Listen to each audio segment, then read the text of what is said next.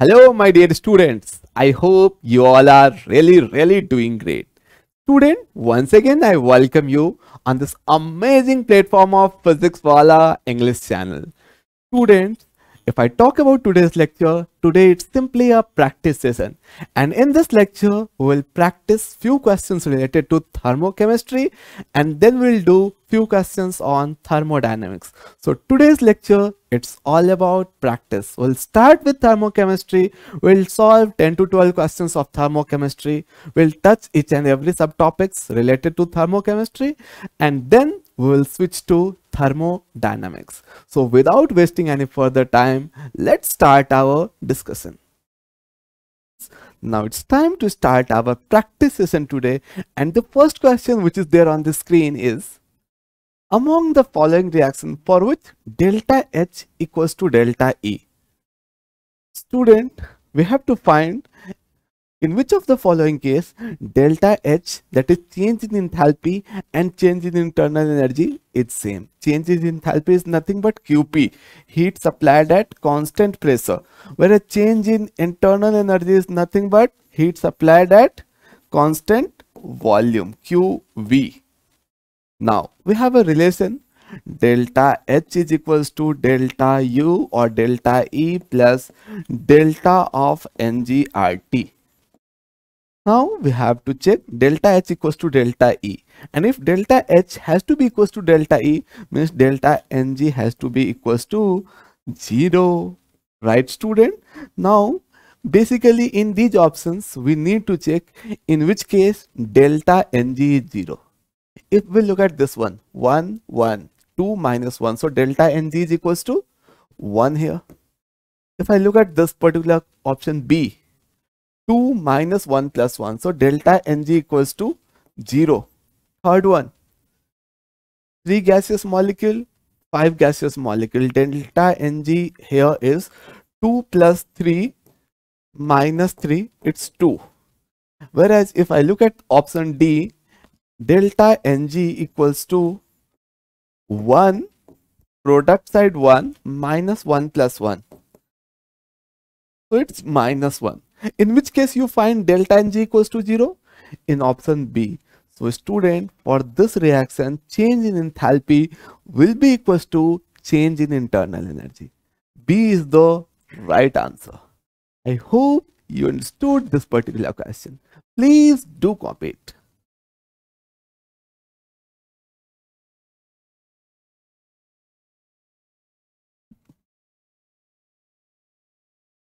Let's move ahead. Moving to the next question which we have on the screen and the question says, study the following thermochemical equations. I'm having conversion of A to B and in this process enthalpy changes 100 kilocalorie. A is getting converted to B and enthalpy changes 100 kilocalorie. Perfect. Now B is converted to C, enthalpy change is minus 80 kilocalorie. The correct order of enthalpies of formation of A, B and C are. Student, here A is getting converted to B and in this process energy absorbed is 100 kilocalorie. Can I say this particular reaction is an endothermic reaction? Or endothermic conversion absorption of energy delta h is positive. Delta h greater than 0 endothermic. Delta h less than 0 exothermic energy is released right? Now let's write this process. I'm having a getting converted to b and energy is absorbed. So can i say b will have more energy? Let us suppose this one this is the energy level of A or enthalpy of formation of A. Now, if it will absorb 100 kilocalorie, then I will have the formation of B. So this is the enthalpy of formation of B. Now student, B is getting converted to C and in this process, B getting converted to C and in this process, energy released equals to minus 80 still can I say B will have more energy? Because as B is getting converted to C, energy is getting released. So can I say C will have less energy as compared to B? right? So now as this b is getting converted to c energy is released. And energy released is 80 kilocalorie. So can i say this is the energy level of c now, if I need to compare the enthalpy of formation of ABC, can I say the correct order is going to be for A, it will be minimum, then it will be for C, and for B, it will be maximum. So B will have maximum enthalpy of formation, then I will have C, and then I will have A. B, C, A. Now let's have a look at the options which we have.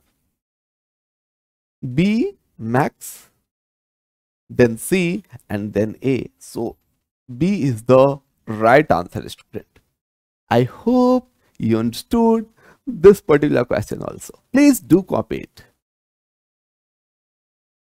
And the question says, the standard enthalpy of formation of CO2 gas, CO gas and H2O gas are minus 393.5, minus 110.5 and minus 241.8 kilojoule per mole respectively.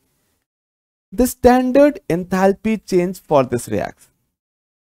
Student, before moving ahead, first of all, let us talk about what do we mean by the term delta HF naught.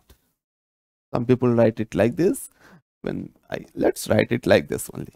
It's nothing but standard enthalpy of formation of a compound standard standard enthalpy of formation of compound of compound right? Student if i define this term it can be simply defined as the enthalpy change in a reaction when one mole of a compound is formed from its constituent element and these constituent element should be there in their standard state or the more stable state of aggregation. Am I clear? Let's try to understand it. Student, if I talk about this delta FH naught for CO2 gas, delta FH naught for CO2 gas its enthalpy of formation of CO2 gas. What are the constituent elements? Carbon and oxygen. Now I will define it. I need to form 1 mole of CO2 gas. So I will write product first of all CO2 gas. The constituent elements are carbon and oxygen. Now what's the more stable state of carbon? Graphite form. So I will write C graphite. Right? Now constituent element oxygen. In case of oxygen what is the most stable state? It's nothing but oxygen gas only diatomic oxygen right? Plus o2 gas. And it will give me co2 gas. This is how we write enthalpy of formation of or standard enthalpy of formation of any compound. Student now one thing. What do we mean by the term standard itself in thermodynamics and thermochemistry, standard condition means 1 bar pressure and all the temperature is not that specific but you can take 298 Kelvin temperature. 1 bar pressure and 298 Kelvin temperature. Now at standard condition, enthalpy of formation of any elements in their standard state is taken as 0 so if I talk about enthalpy of formation of C graphite at standard condition, it is going to be 0. For oxygen gas, it is going to be 0. Now one more thing. Let's define this term enthalpy of reaction or enthalpy change in the reaction. Enthalpy change in the reaction is delta HR naught, let's write it like this, equals to enthalpy of form sigma summation of enthalpy of formation of product formation of product product minus enthalpy of sigma enthalpy of formation of enthalpy of formation of of reactant right? Okay. Now, student, we have a given reaction that is CO2 gas reacting with H2 gas is giving me CO gas plus H2O gas. Let's write this reaction. CO2 gas plus H2 gas is giving me CO gas plus H2O gas, right? This is our required reaction. And for this reaction, I need to calculate enthalpy change in the reaction. That is enthalpy of formation of product minus enthalpy of formation of reactant. Right? Okay. So can I write delta is equals to enthalpy of formation of delta F H naught of CO gas CO gas plus delta F H naught of H2O gas right? Minus delta F H naught for CO2 gas minus delta F H naught for H2 gas what is will be delta F H naught for H2 gas? Enthalpy of formation or standard enthalpy of formation of hydrogen. It's there in their standard state. It is going to be 0 it, this value will be 0 now they have given these three data right? They have given us. For CO gas and H2O gas it's nothing but minus 110.5 and minus 241.8 110 and 241.8 so minus 110.5 plus of minus how much? 241.8 241.8 this is the enthalpy of formation of product. Minus enthalpy of formation of reactant. H2 it's already zero. And for co2 it's minus 393.5 yes. Minus 393.5 so minus and minus it's plus. So 393.5 minus 241.8 241 and 110 it's nothing but 351 and 352.3 352.3 it's close to 41.2 kilojoule per mole. Am i clear student? Now let's have a look at the options 41.2 kilojoule per mole energy is absorbed in this process because delta RH is greater than 0.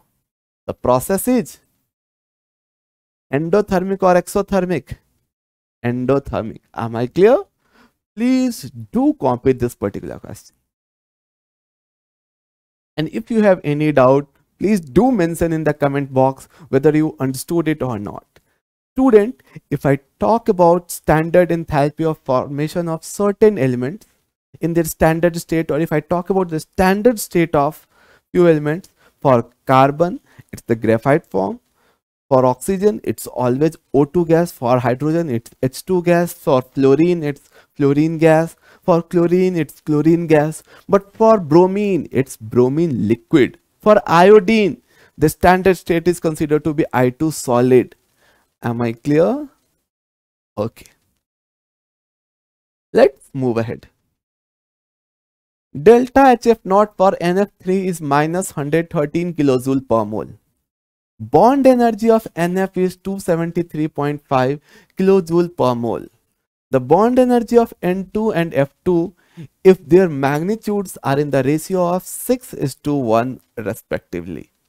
Okay, let's write this question first of all and write the let's write the reaction involved. I need to write i need to form nf3 right? So let, can i write the reaction like this? Half n2 plus 3 by 2 f2 will give me nf3 this is how we define enthalpy of formation of nf3 one mole I need to form this compound. From it, constituent elements. Constituent elements are nitrogen and fluorine and that should be there in the standard state. Now the enthalpy of formation of this NF3 is nothing but the enthalpy of this reaction because enthalpy of reaction is enthalpy of formation of NF3 minus enthalpy of formation of N2 minus enthalpy of formation of F2 but for these elements the enthalpy of formation is going to be 0 right? Okay. Now let's write the structural form of this one. Can I write it like this? Half n triply bonded n plus 3 by 2 f bonded to f is giving me n f f and f.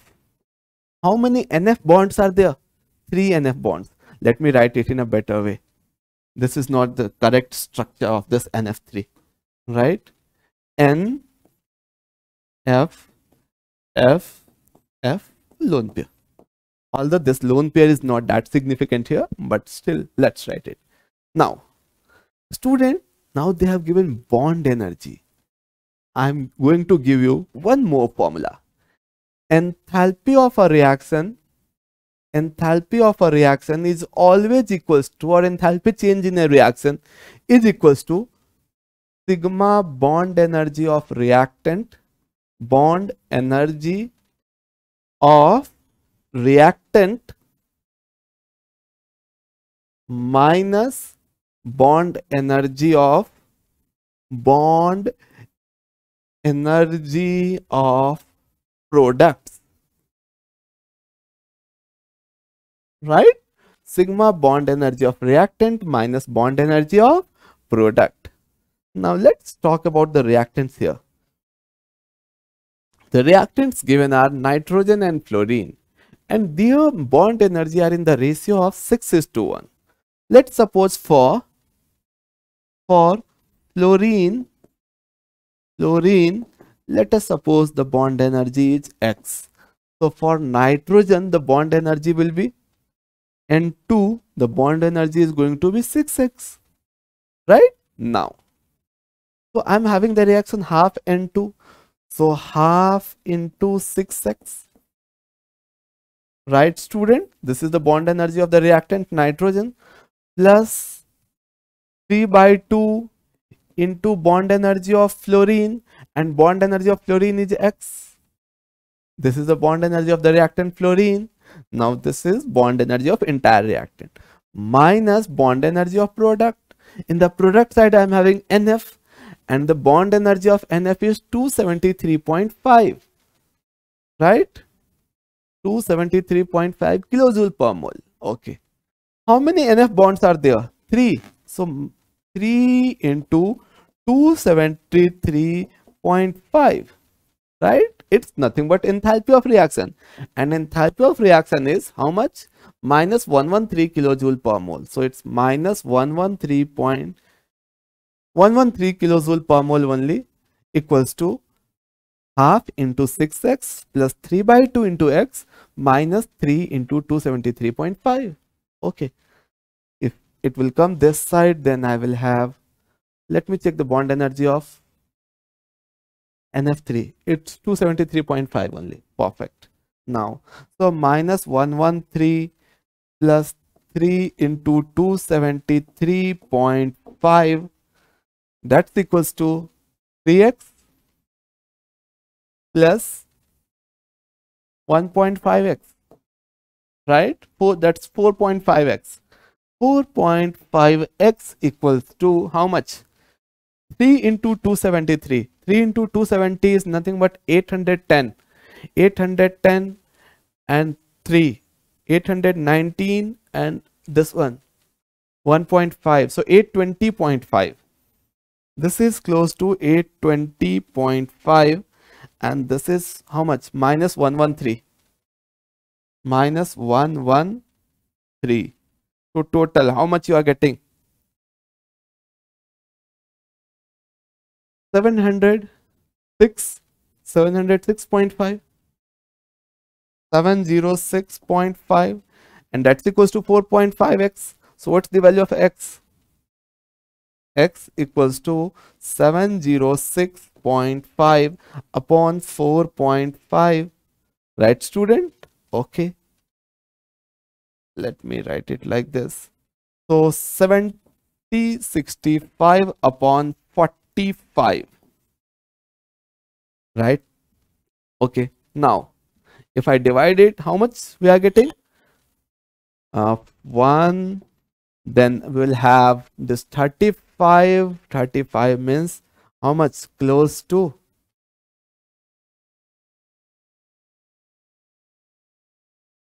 Let's have a look at the options. Through options only we can see. The value of x we will get will be close to i think 160 let's have a look. 70 it's 25 right? 25 and 6 so 256 5 times.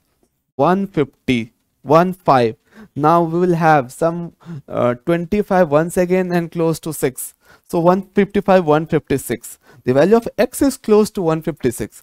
Now if I look at the option, the closer value, this one, 157.22 this is the bond energy of fluorine and bond energy of nitrogen is 943 so the correct answer is option c students.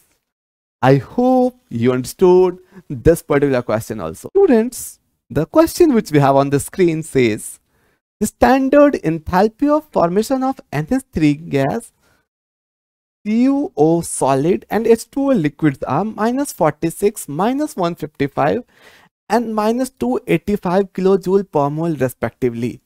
The enthalpy change when 6.8 gram of NH3 is passed over cupric oxide. Okay, student, let's try to do this question. First, this ammonia gas is passed over cupric oxide okay so student will have this NH3 treated with CuO right? And I will have the formation of N2 plus Cu solid plus H2O liquid right? Now if I talk about the balancing of this reaction let's do the balancing also. 2ns3 will give me 2ns3 cupric yeah so it's cu only n2 plus here i will have how many hydrogen three hydrogens so six hydrogens so three water molecule if it's three water molecule then 3 oxygen here so I need to add 3 oxygen here and 3 copper solid here. Is this reaction balanced now? Yes. Now if I talk about enthalpy of this reaction enthalpy change that equals to enthalpy of formation of nitrogen enthalpy delta HF not of nitrogen let me write it like this only enthalpy of formation of nitrogen plus enthalpy of formation of delta HF naught of copper solid plus delta HF naught delta HF naught of H2O liquid right this is the summation of enthalpy of products it's three times here it's three times and here it's one times while writing these things, we need to check the stoichiometric coefficient also.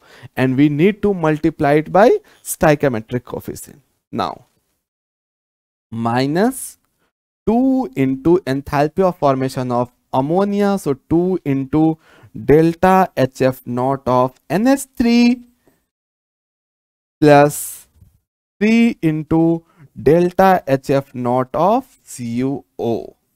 Am I clear student? This is our final formula. Now we need to substitute the data, right? Delta HF naught of nitrogen, 0. Copper solid, stable state of aggregation, 0. So in the product side only we'll have 3 into delta HF naught of H2O liquid.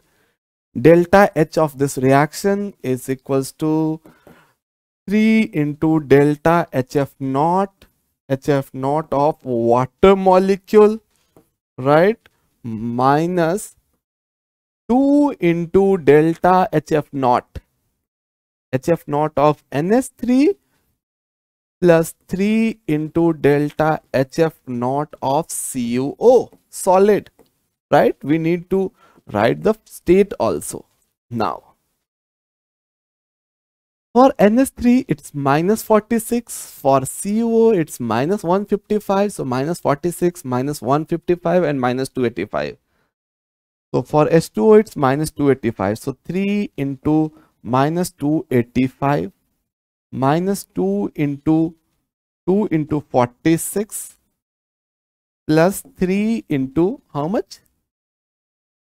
Minus 46 minus 155. 2 into minus 46 minus 3 into minus 155 right student so how much you are getting 280 into 3 840 840 and then this one is 5 so 55 minus 855 minus 855 now plus. This one minus of minus. All these things will go up in plus. So it will be 92 plus of 465 465 and 90 it's 555 and 2 557 right? So it's minus 855 plus 557 right student? So it's how much? Minus 855 and plus 555 it's minus 300 and minus 300 plus 2 minus 298 minus 298 kilojoule kilojoule now this is the enthalpy change when 2 moles of ammonia is reacting right when 2 moles of ammonia is reacting the enthalpy change is minus 298 kilojoule.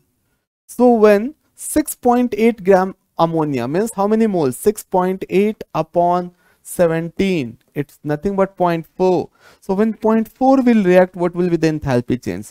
298 upon 2 into 0 0.4 so it's 0.2 it's 59.6 right? Kilojoules let's have a look at the options. 59.6 whether it's minus or plus it's minus. So minus 59.6 kilojoule per mole.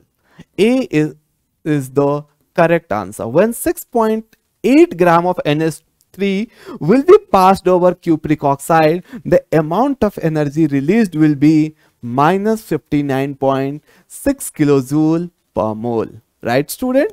First we have calculated the enthalpy of this reaction. Enthalpy of reaction equals to su summation of enthalpy of products minus summation of enthalpy of reactant. Once we know the enthalpy of reaction we'll see how many moles of ammonia is reacting so here 2 moles of ammonia is reacting and when 2 moles of ammonia is reacting the enthalpy change is 298 so when 0.4 mole of ammonia, 0.4 mole of ammonia will react, what will be the enthalpy change? Am I clear? Please do copy all these things. Next one. Student, let's do this question also. And this question is really, really important. Now, the enthalpy of combustion at 25 degrees centigrade for H2 gas, cyclohexane liquid and cyclohexene liquid are minus 241, minus 3920 and minus 3800 kilojoule per mole respectively. The enthalpy of hydrogenation of cyclohexene. Student, here we need to convert enthalpy of hydrogenation of cyclohexene. Means cyclohexene treated with hydrogen molecule and the product will be cyclohexane and enthalpy of hydrogenation of cyclohexene it's nothing but enthalpy change during the reaction. When this one mole of cyclohexene is treated with sufficient amount of hydrogen to give us one mole of cyclohexane am i clear? Let's write the reactions now. Enthalpy of combustion of combustion at 25 degrees centigrade for h2 gas. Student, if I talk about enthalpy of combustion for H2 gas, H2 gas, it will react with half O2 gas and I will have the formation of H2O liquid. This is nothing but enthalpy of combustion of H2 gas or we can also say it as enthalpy of formation of H2O liquid, right? Because if I define enthalpy of formation of H2O liquid, the concerned reaction will be like this only right? Enthalpy of formation of H2O liquid minus enthalpy of formation of oxygen gas minus enthalpy of formation of hydrogen gas at standard condition. This one will be zero. This one will also be zero. So enthalpy of combustion of hydrogen gas equals to enthalpy of formation of H2O liquid. Am I clear? This is also nothing but enthalpy of formation of H2O liquid or it is enthalpy of combustion of H2 gas now, enthalpy of combustion of cyclohexane. Let's write that also. Cyclohexane. So it's C6H12 treated with oxygen. We will have the formation of 6CO2 completely burnt, right? Plus 12 6H2O, right? How many oxygen? 12 and 6 18 so 9 oxygen Energy changed in this reaction is nothing but enthalpy of combustion of cyclohexene and it's given as minus 3920. The value data is also given. Right student? Enthalpy of combustion of cyclohexene or enthalpy of combustion is simply defined as the amount of energy released when one mole of an organic compound is burnt completely in the presence of air or oxygen. So what's the enthalpy change here? Minus 3920. And this enthalpy change of this reaction is also defined as enthalpy of combustion. Now enthalpy of combustion of cyclohexene. Cyclohexene is C6H10 plus oxygen will give me 6HCO2 plus now 5H2O. Right student? Okay. So how many oxygen? 12 and 517 by 2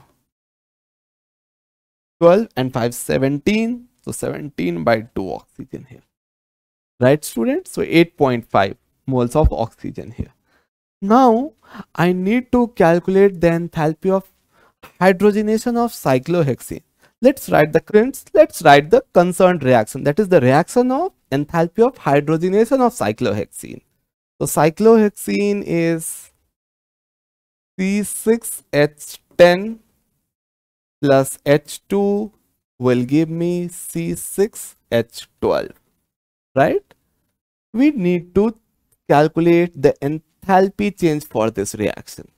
It's nothing but enthalpy of hydrogenation.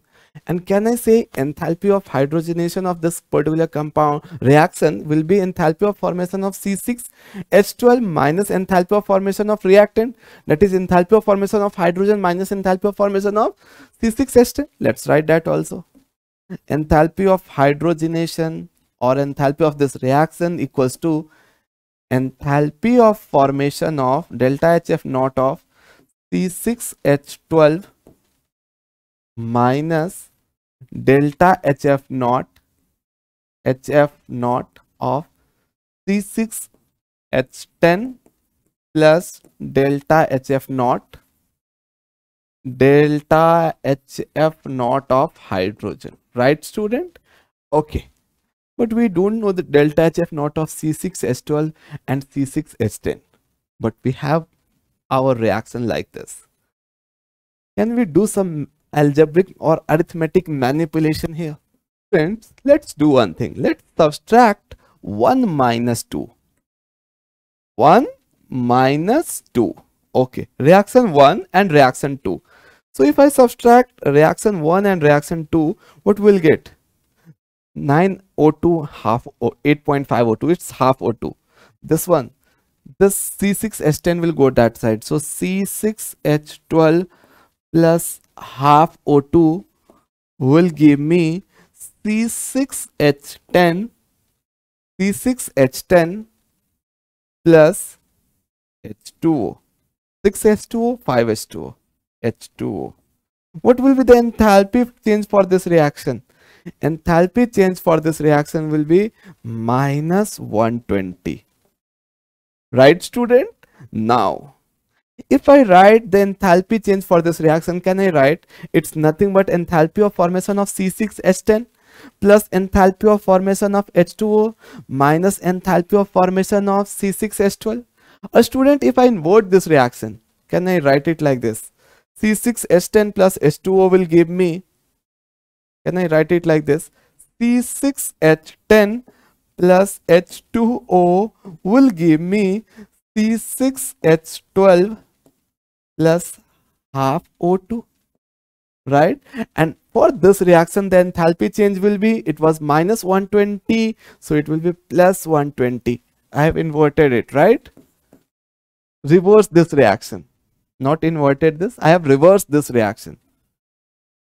Kilojoules now can I write delta HR for this reaction? It's nothing but enthalpy of formation of C6H12 delta delta HF naught of C6H12 minus delta HF naught of or plus delta HF naught of oxygen but it's nothing but zero.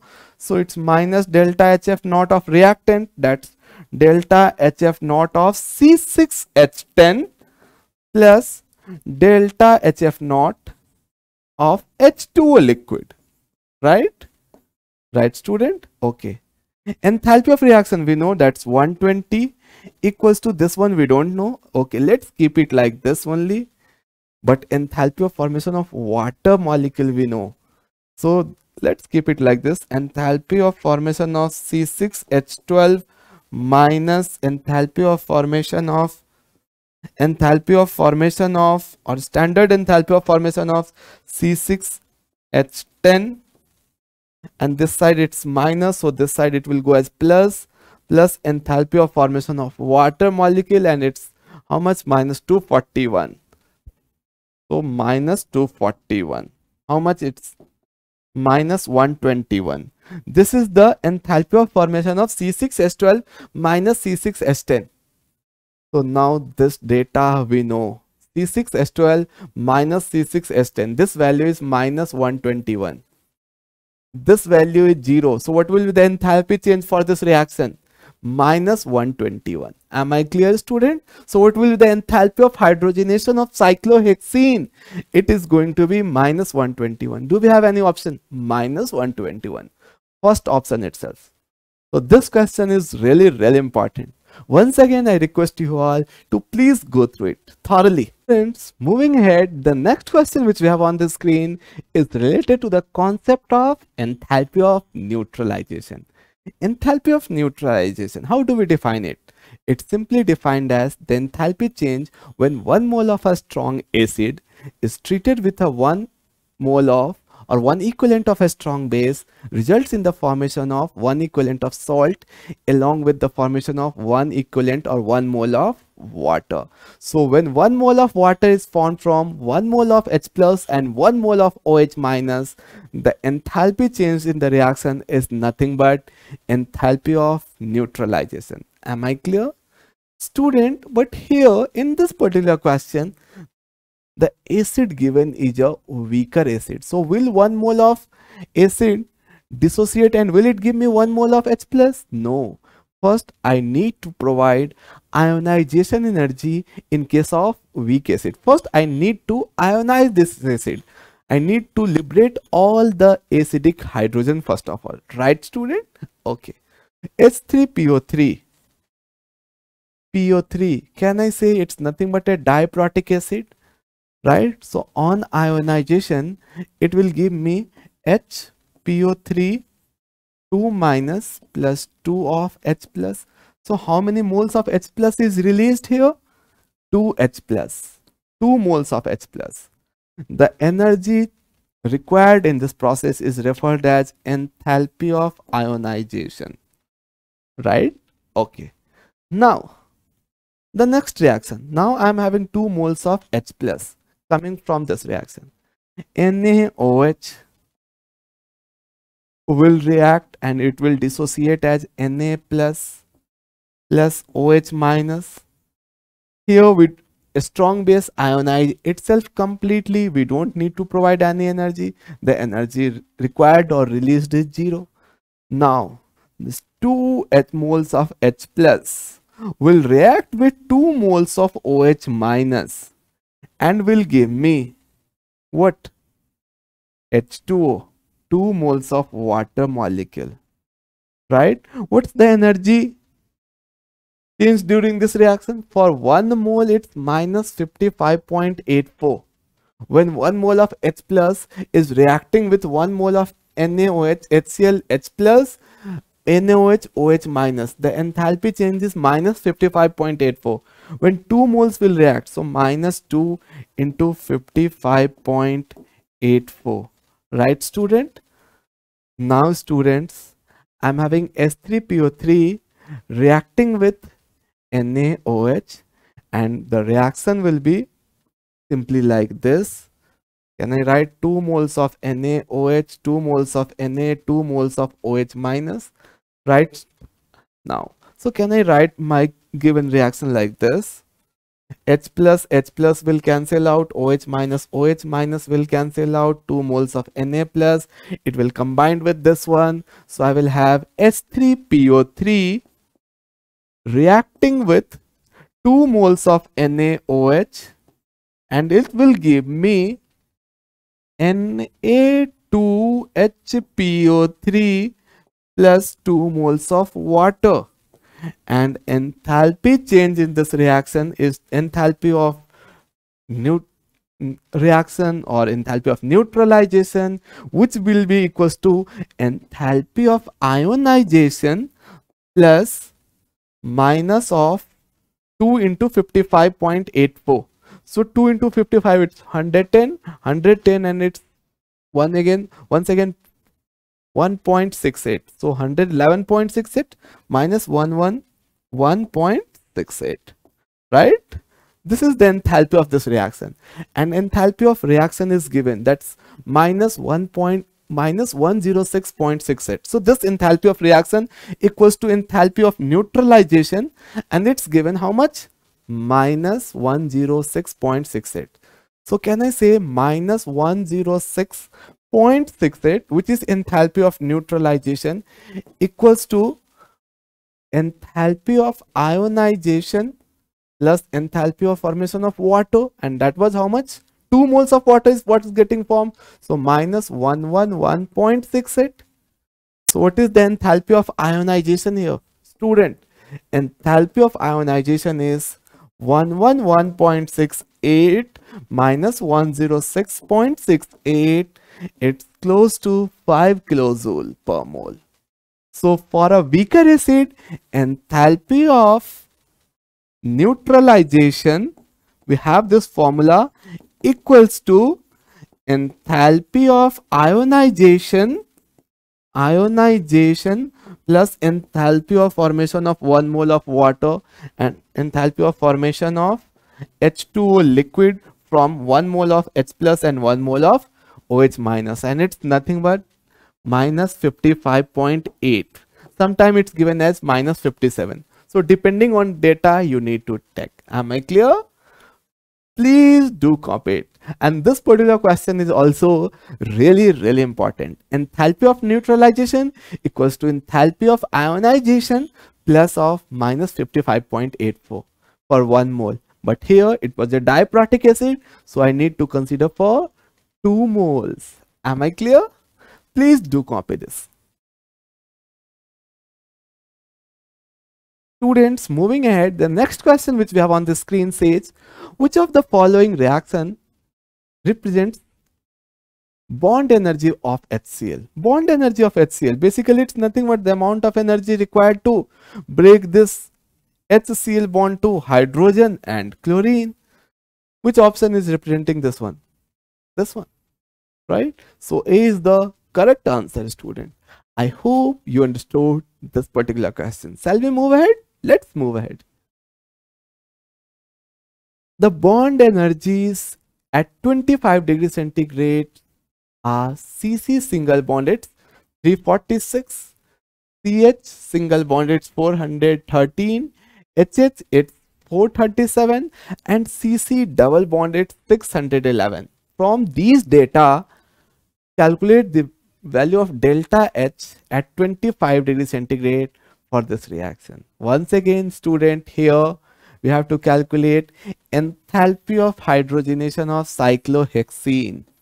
It's nothing but cyclohexene, right? Treated with hydrogen molecule and is giving me cyclohexane.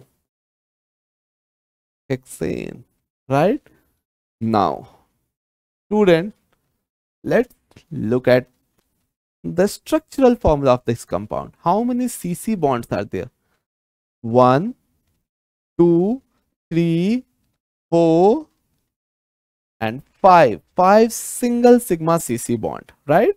Student, if I talk about enthalpy of reaction, already we have discussed it. It's nothing but sigma bond energy of reactant, reactant minus sigma sigma bond energy of products. Right? Okay.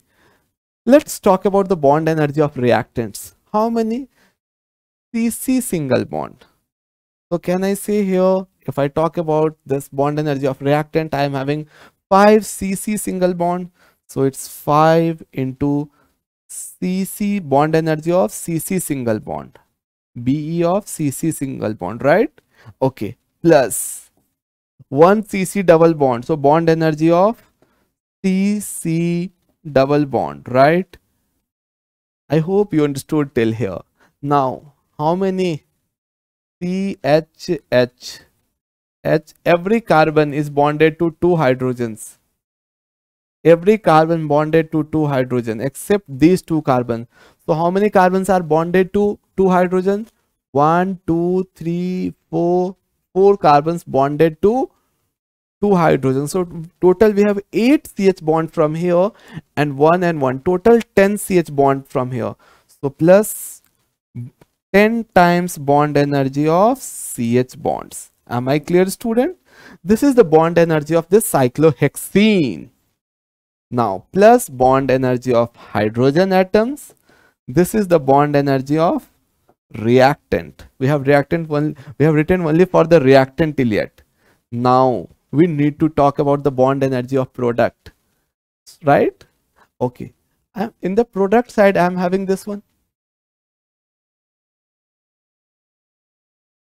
Each carbon bonded to two hydrogen. So total how many ch bonds how many ch bonds. Six carbon here. Each carbon bonded to two hydrogens so total of 12 ch bonds. Student if i talk about the bond energy of product b of product it will be equals to 6 bond times bond energy of energy of cc sigma bond. Sigma bond right? Plus 12 times bond energy of the H sigma bond. Right? Now, enthalpy of reaction. Enthalpy of reaction. It was bond summation of bond energy of reactant that is 5 times bond energy of CC sigma bond 5 times bond energy of BE of CC sigma bond plus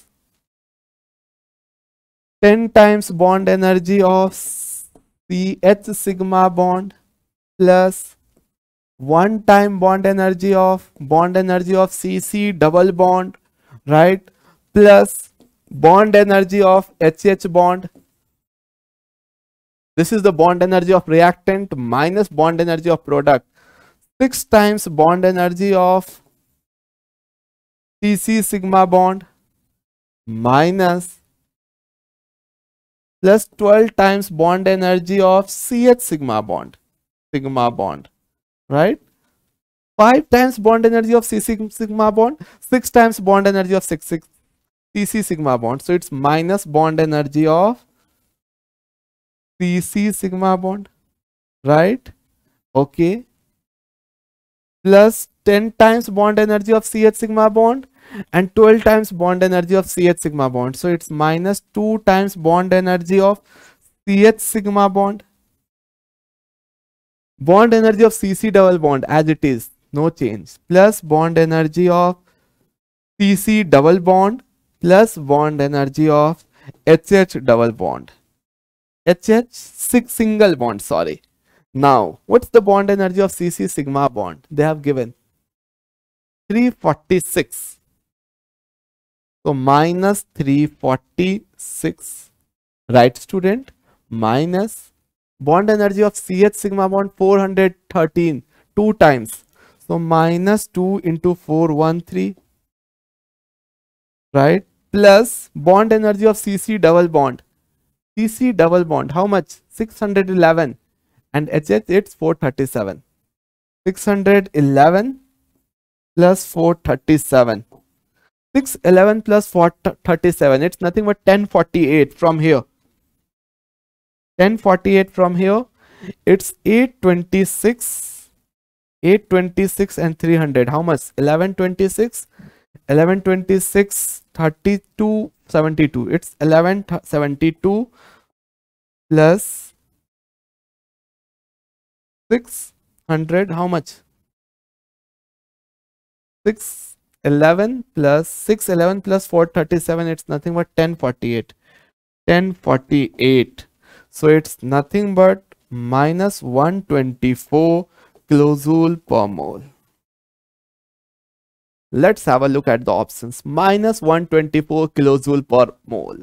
B is the correct answer student. I hope you understood this particular question also. Please do copy it.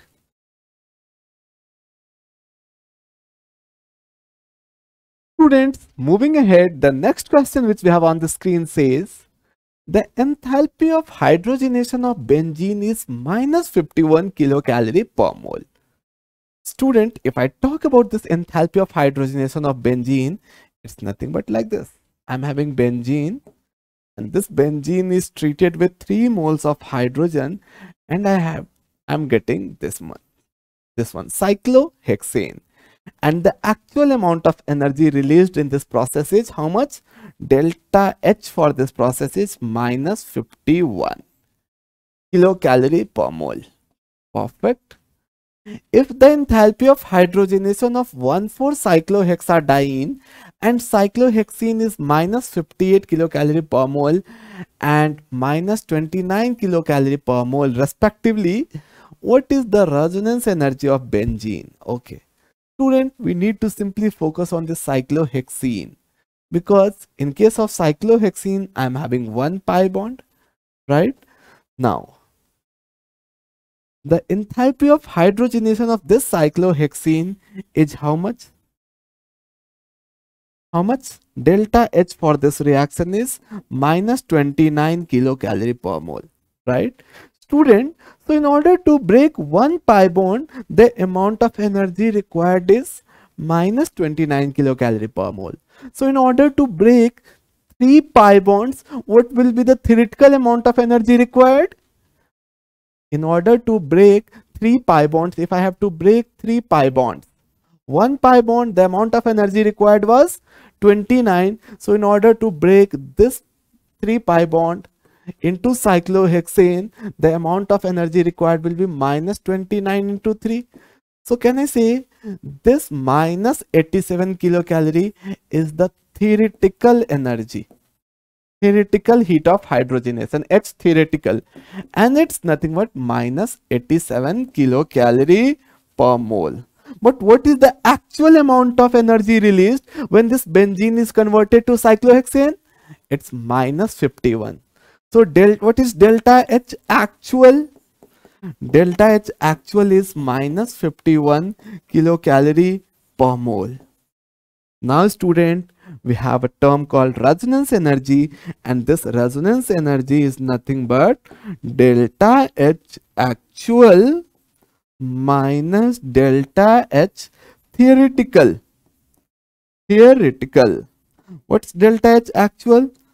51, right? Minus 51. And what's delta H theoretical? Minus 50, 87 so minus of minus plus 87 so what's the resonance energy of benzene student? 36 kilocalorie kilocalorie per mole. Do we have any option? 36 kilocalorie per mole. So b is the right answer student. I hope you understood this particular question. Please do copy Students, moving ahead, the next question which we have on the screen and which we need to solve is, from the following thermochemical equations, find out the bond dissociation enthalpy of CH3H bond. Okay. CH3H bond. So student, if I write the desired reaction, can I write it like this? CH3H will dissociate as CH3 gas plus H gas. Right? CH3H will dissociate as CH3 gas plus H gas. Now, student, we need, need to get this desired reactions from these reactions. If I do some arithmetic operations on these reactions, we can definitely get this reaction. So shall we do? Shall we start? Let's start, student. This is, let's suppose, reaction number 1. It's reaction number 2.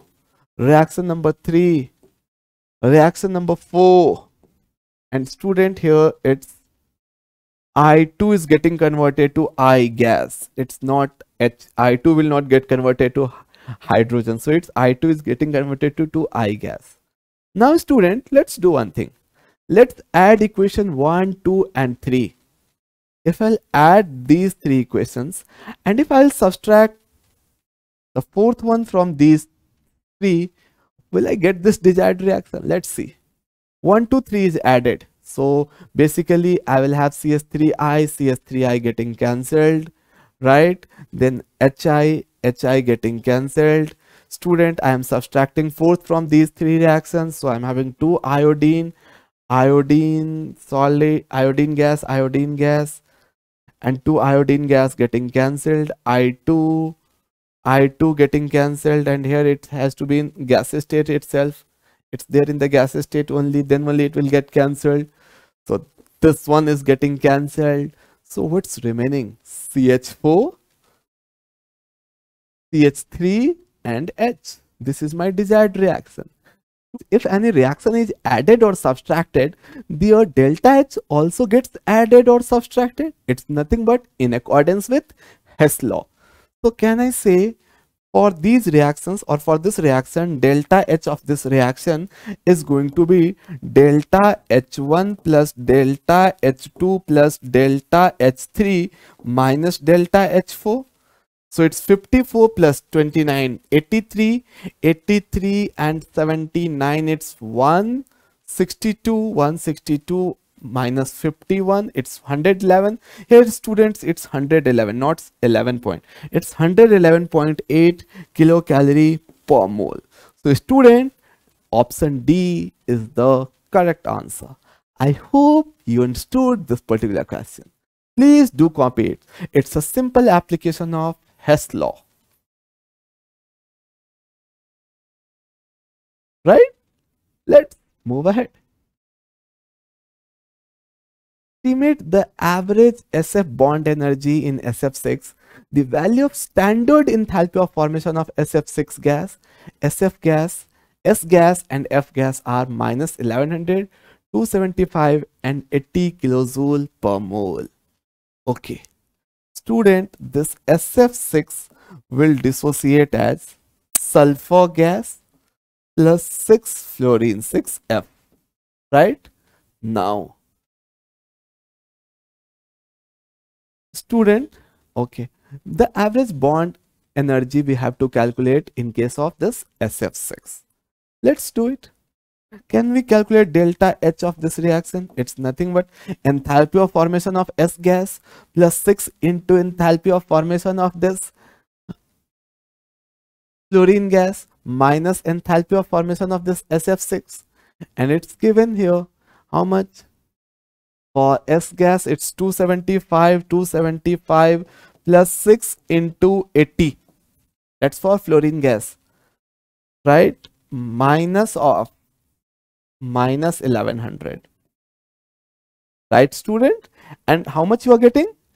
It's 275 plus 480 275 and 480 is how much? 480 and 75 555 and 755 plus 1100 right?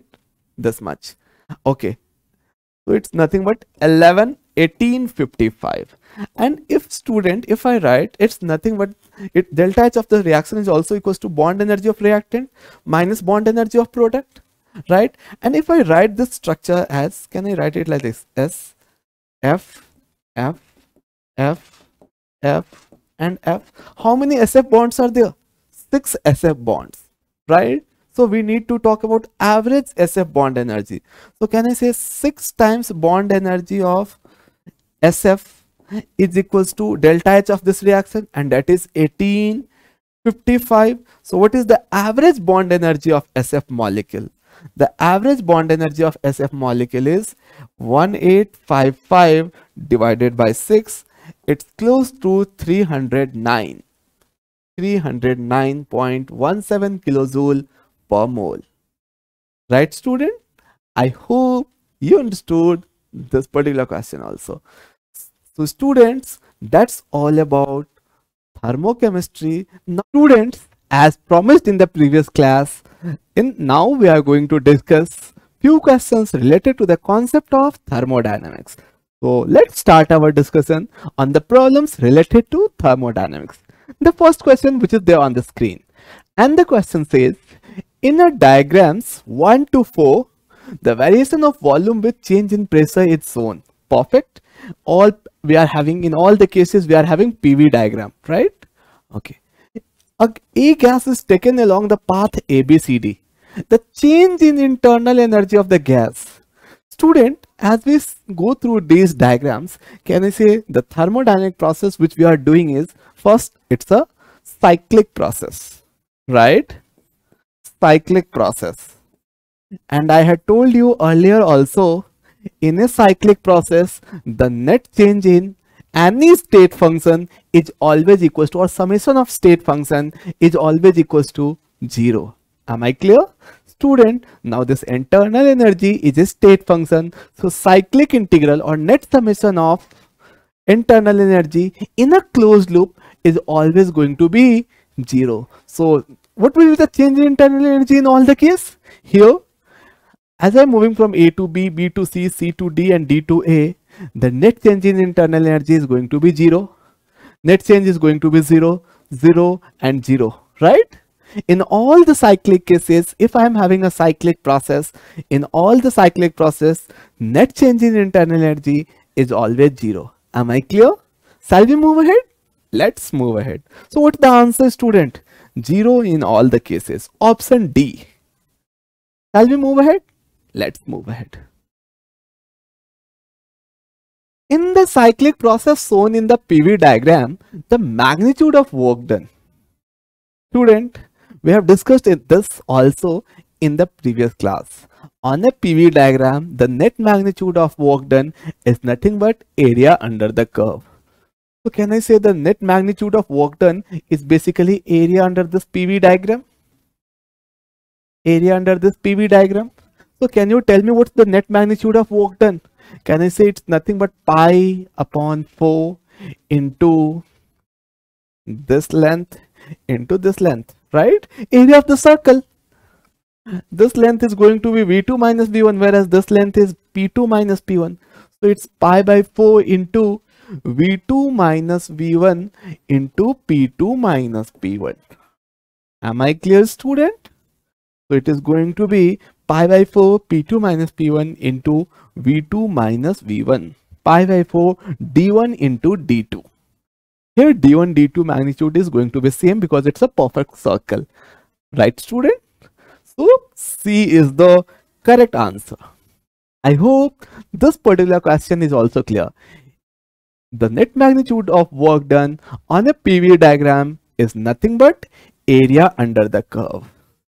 Area under the curve. Okay, let's move ahead.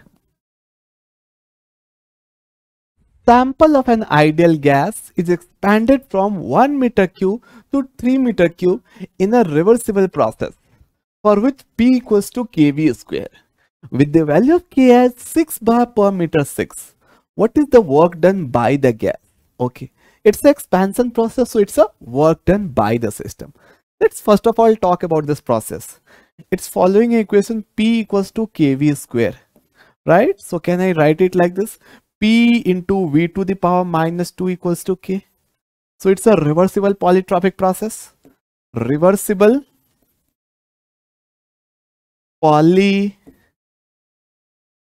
polytropic process.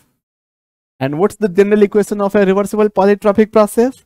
PV to the power x equals to K.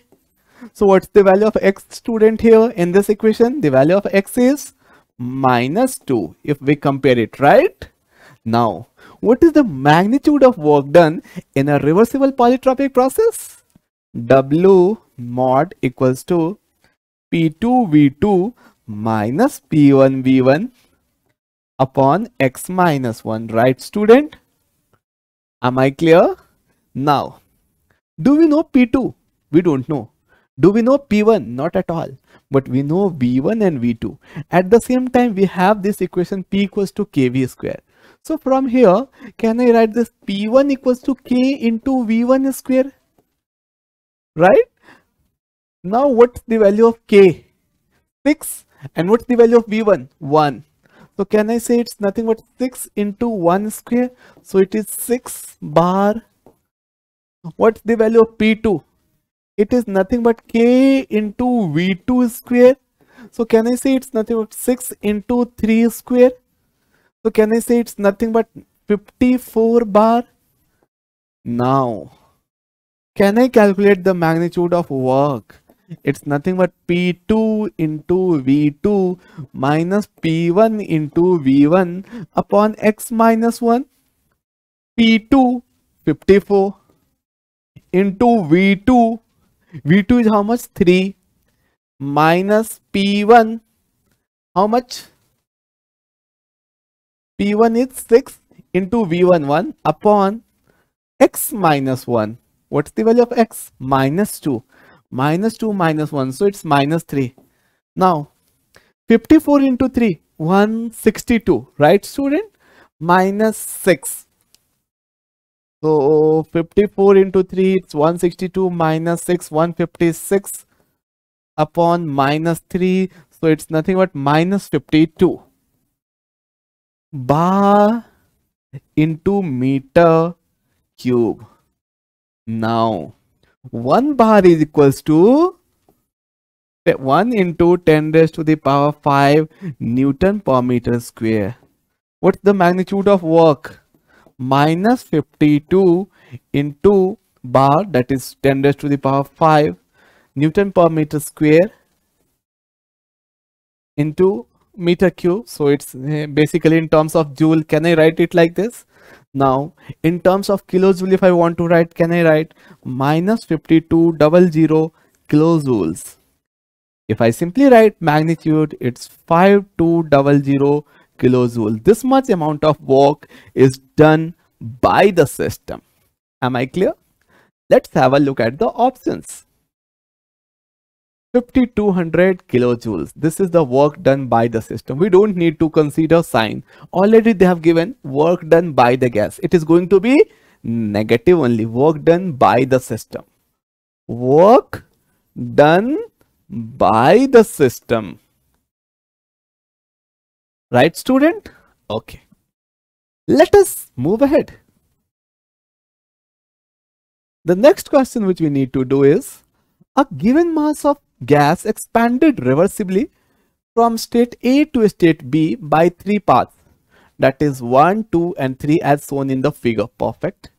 If W1, W2 and W3 respectively with the work done by the gas along the paths, then we need to compare the magnitude of work student simple one concept is there work is a work is a path function path function right larger the area under the curve more is the amount of work. So if I talk about the path A, the area under the curve is this much.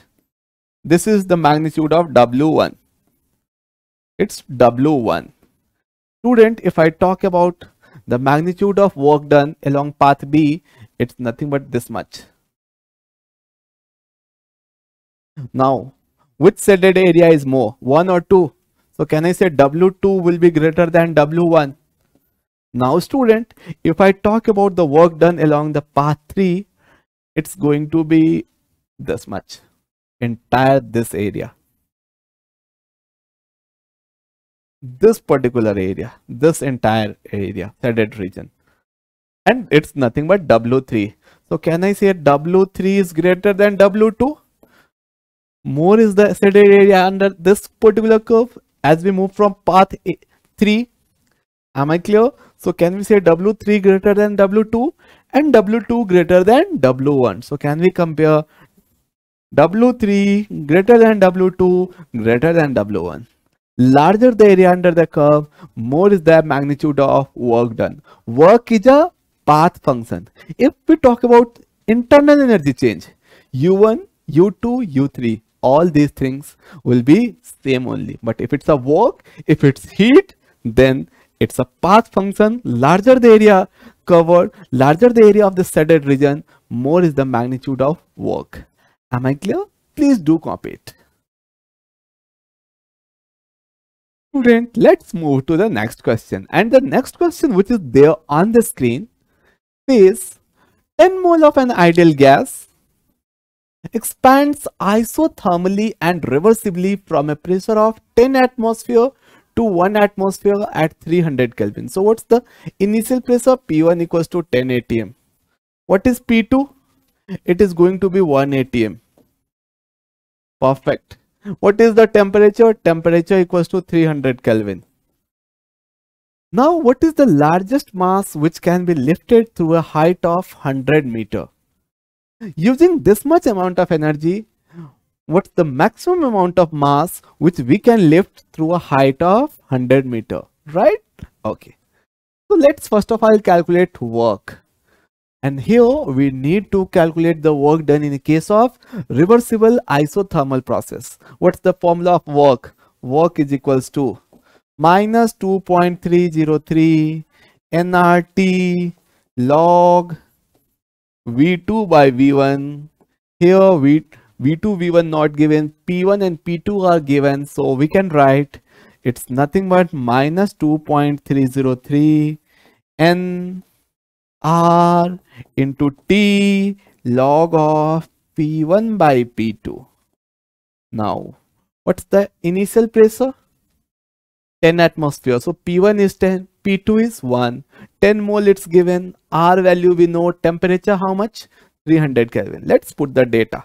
So the magnitude of work W equals to minus 2.303 into 25 upon 3 right the value of r into 10 into 300 n n r t log of P1 upon P2 that's 10 upon 1 log 10 is nothing but 1 so can we calculate the magnitude of work?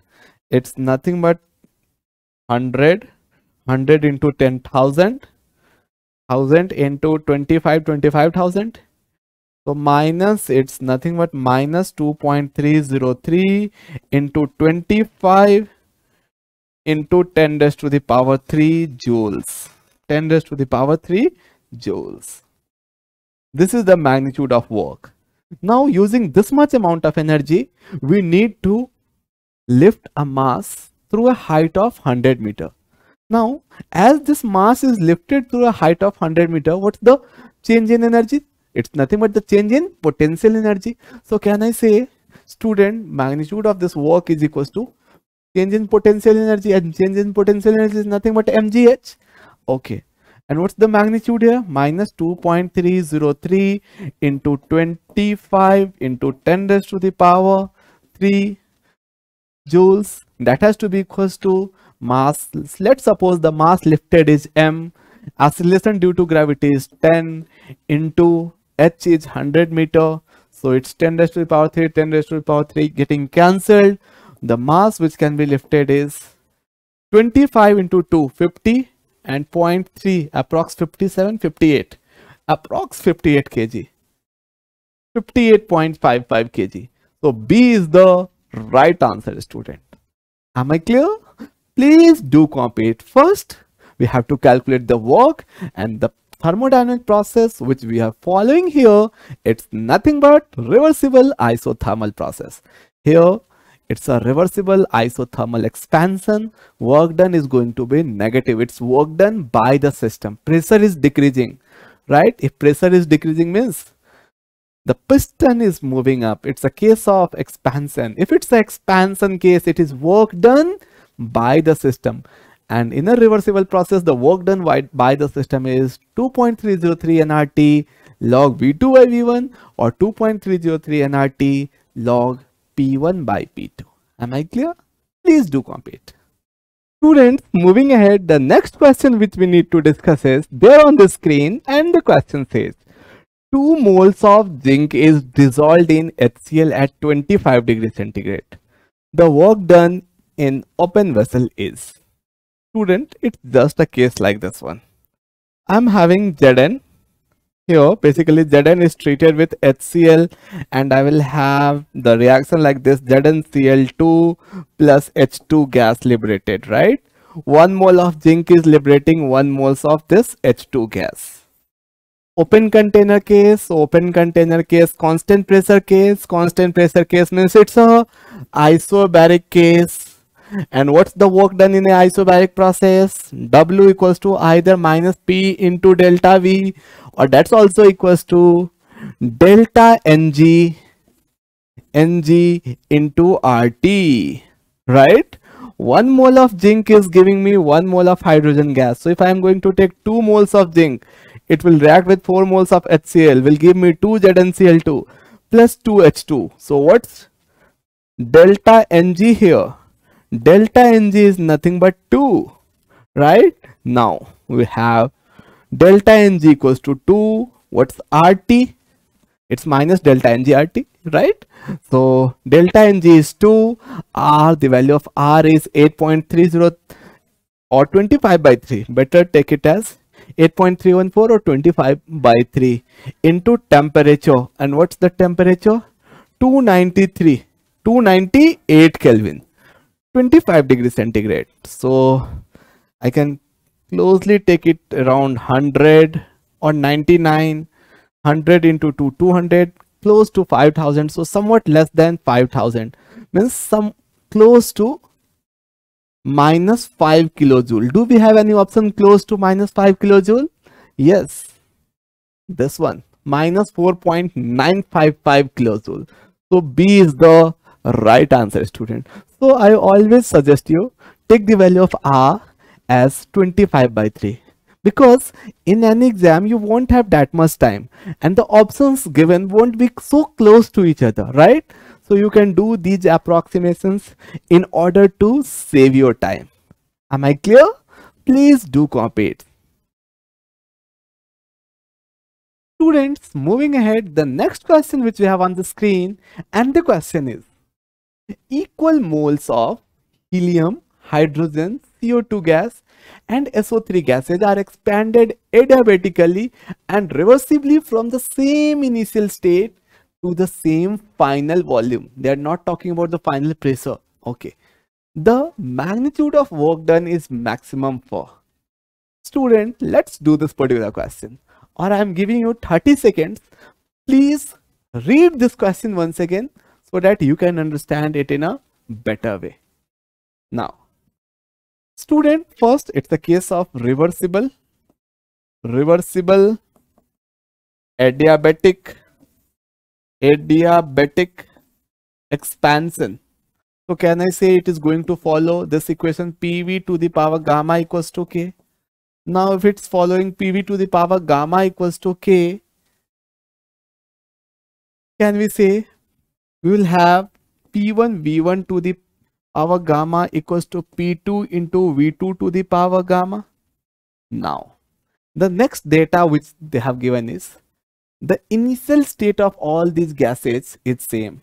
So for hydrogen, for helium first of all, the initial pressure let's suppose is P1, the volume is V1 and now let's assume it is going to a volume V2, pressure is unknown. P2, pressure is unknown, volume is V2.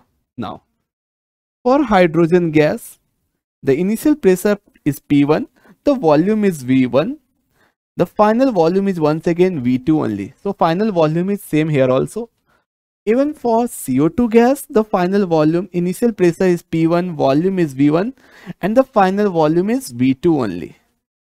If I talk about SO3 gas, once again the initial state is P1, V1 and the final volume is V2. We don't know final pressure in each case. Can we calculate? Yes, we can easily calculate. Student, can I apply this equation P1 into V1 to the power gamma equals to P2 into V2 to the power gamma? Right? Now student, if I talk about helium gas, helium, it's a monoatomic gas. So what's the value of gamma? Cp upon Cv? Right? Now, student, if I talk about this Cp value, it's 5 by 2 right? If I talk about CV value, it's 3 by 2. Uh. So what's the value of CP by CV? It's 5 by 3. 1.6. 6, right? Now, student, so can I talk about the final pressure P2 upon P1 equals to V2 by V1, right? Sorry, it's nothing but V1 upon V2 v1 upon v2 to the power 1.66 right? Now okay. So can i calculate p2 from here? P2 is nothing but p1 into v1 upon v2 to the power 1.66 okay perfect. Now it was therefore helium gas. Student similarly for hydrogen gas can i write the same expression? Because once again we don't know the final pressure but we know the initial pressure is same final volume is same initial volume is same. So can i write for hydrogen gas final pressure of hydrogen gas is equals to p1 into v1 upon v2 to the power gamma and what's the value of v gamma for hydrogen gas? Diatomic gas 5 by 2 r 7 by 2 r. So it's 7 by 5 1.4 right? Okay. Now let's have a look at these two data. First of all v1 upon v2 is v1 or v2 which one is larger? Can i say v1 it's the expansion case. So v2 is greater than v1 so can i say v1 upon v2 less than 1 right smaller numerator smaller denominator larger so fraction is going to be less than 1 now, if the fraction is less than 1 and if I increases the power, can I say the magnitude, the value of fraction will further reduce, right? 0.5 to the power 1 and 0.5 to the power 2. Here the value is 0.25. So can I say the on increasing the value of this power for a given fraction, the net magnitude decreases. So can I say P for H2 will be more as compared to P for He because here the power is more. Now, can I say this value of gamma is in the order, it's maximum for a monoatomic gas, then for a diatomic gas, H2, even for CO2 it is going to be almost same only, diatomic or polyatomic but linear. So H2 and CO2 is going to be same and it is going to be minimum for SO3 gas. Now, smaller the value of gamma, value of gamma, larger the final pressure, the final pressure. So can I say, if I talk about the final pressure order, P of SO3 will be larger, then we will have P of H2 equals to P of CO2 and then we'll have minimum for P of HE. Now, we know initial pressure condition, we know final pressure condition, at least we know the relative order, we know the final volume also. Now, can we plot the graph? Yes, we can easily do that. Let's plot it. Shall I plot it here itself? Let me plot. P versus V. State 1, it's the final state, right? Student, the final volume is going to be same for all the gases, right? This is the final volume condition, but will the final pressure be same? No. The pressure order we have derived just now. The pressure order is P of SO3 is max. Okay. So P of SO3 is going to be max. It will be like this. This is for SO3 gas. Then it will be for CO2 and H2 gas. And it minimum for HE gas. This is P1, V1. It's nothing but P2, V2 for SO3, P2, V2 for CO2 and P2, V2 for HE. Now you need to comment on the magnitude of work. Magnitude of work simply depends on, it simply depends on area under the curve. Can I say in this particular case, in case of SO3, area under the curve is max. So in which case the work done will be max.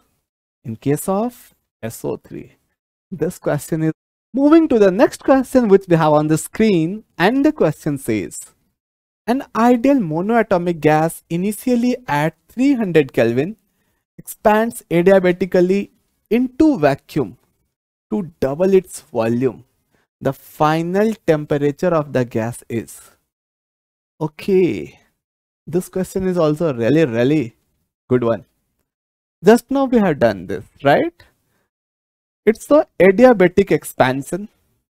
Adiabatic expansion. And adiabatic expansion in vacuum. Expansion in vacuum.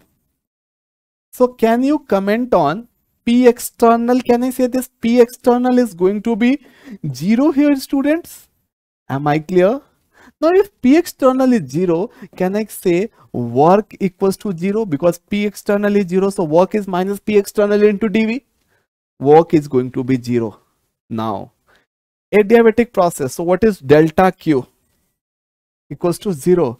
Once again, can we apply FLOT? If we apply FLOT, it says delta U equals to delta Q plus W. Delta Q is 0, W is 0. So can I say delta U is going to be 0? And if it's delta U equals to 0 means which type of process? Students, for an isothermal process, change in internal energy is always equals to zero. So can I say temperature will remain constant for an isothermal process? Isothermal process process delta U equals to 0. Why? Because delta U equals to NCV T2 minus T1. Temperature is remaining constant. So this one will reduce to 0. So temperature will remain as it is. If initial temperature is 300 and if it's adiabatic expansion in vacuum, final temperature will also be 300 only. Do we have any option 300? Yes. A is the right answer student. I hope this particular question is also crystal clear to you all. Shall we move ahead? Let's move ahead. Delta S will be highest for the reaction. Student here basically we are given certain reaction and we need to tell in which case change in entropy is maximum. Student if nothing is given for any reaction for any reaction you simply do this. Delta S is directly proportional to delta Ng you check change in the moles of gaseous products and reactants in which case you are getting maximum value of delta ng more is the change in this delta ng more will be the value of change in entropy student if i talk about delta ng in equation 1, the value of delta ng is minus 1.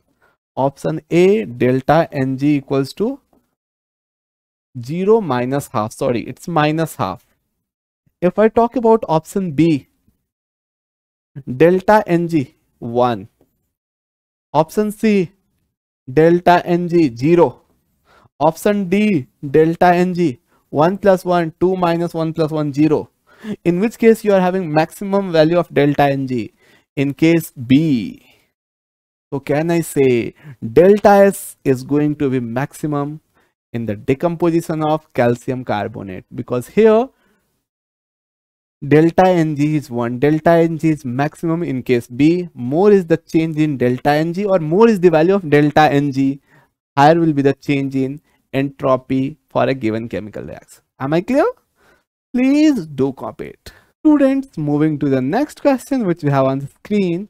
And the question is when one mole of an ideal gas is compressed to half of its initial volume and simultaneously heated to twice its temperature, the change in entropy is change in entropy is delta S and delta S of system it's always equals to NCV ln T2 by T1 plus NR ln V2 by V1. Now, what is N? n equals to 1 cv cv what's t2 by t1 it's heated to twice its temperature. So can i say the value of t2 upon t1 is 2 final temperature is twice that of initial temperature.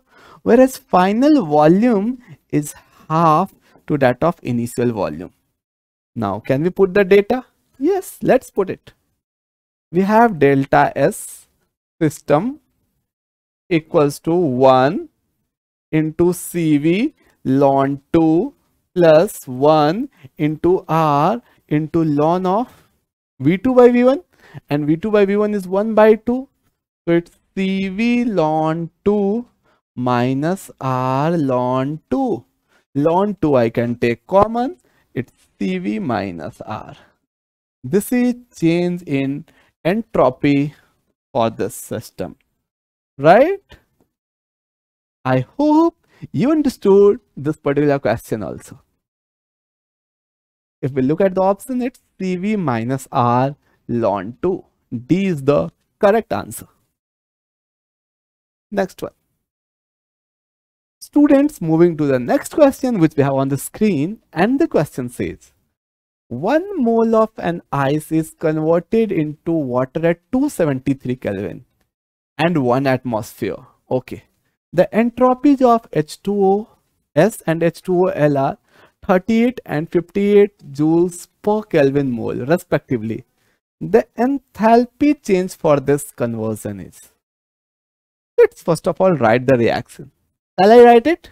Okay. H2S, H2O solid, H2O liquid. What is the temperature?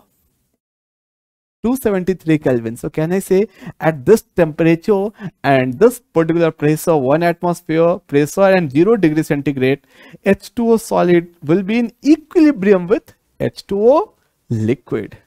Now at equilibrium we have studied delta G of reaction is always equals to 0. Right? Okay. They have given the entropies. Entropy for this is how much? 38 and this for this one H2O liquid is 58. So what is delta S for this reaction? It's how much? 20 joule per Kelvin mole, right?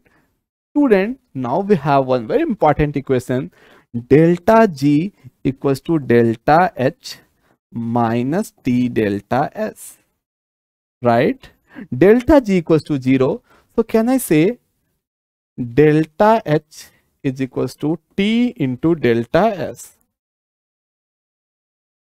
What is T? 273. What is delta S? Delta S how much? 20 into 20. So how much? It's 2.73 or so it's 5.46 into 10 raised to the power 3 kilojoule per mole.